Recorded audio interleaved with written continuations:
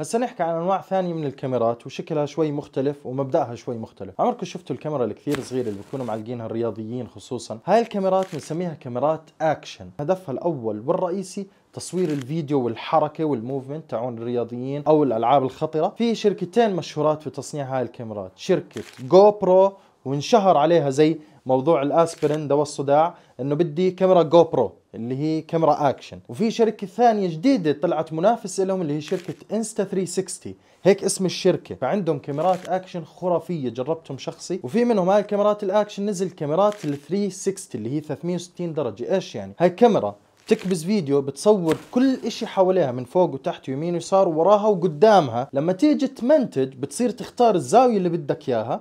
بعدين بتحرك ال frame فوق وتحت أو يمين ويسار.